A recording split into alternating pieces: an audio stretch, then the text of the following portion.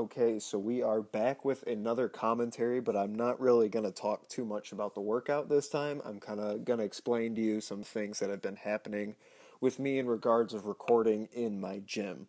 So the other day I was starting to record a back workout for YouTube and some complications came up and I was asked to stop recording. Fine, I respect people's authority.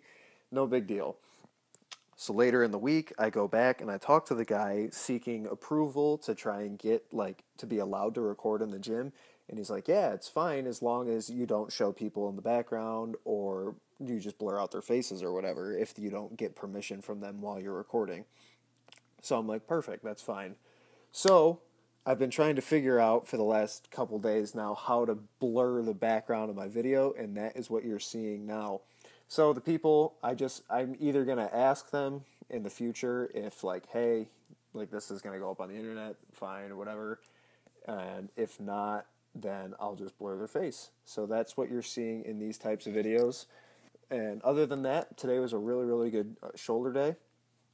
And we just, we kind of kept the weight low and we did lots and lots and lots and lots and lots of sets and reps on a few just basic exercises and things were feeling pretty good. These are uh, one of my favorite right here, the machine lateral raises.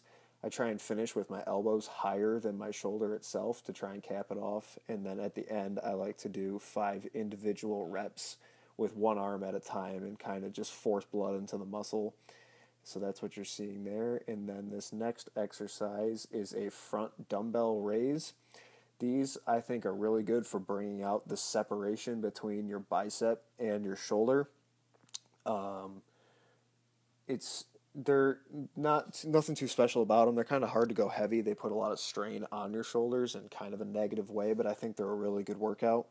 So to build that separation between the shoulder and the bicep, the top of the bicep, your insertion point, I would definitely recommend doing these. And the only comment that I would have on them is bring it up slow and bring the weight down slow, and that'll help definitely bring that separation and build your shoulders. And here is just the last thing I'm going to show you real quick. It is just a dumbbell rear delt row, I guess you would call it. And we did about eight sets of these, and you just contract, and that's going to be it for the commentary. Hope you enjoyed.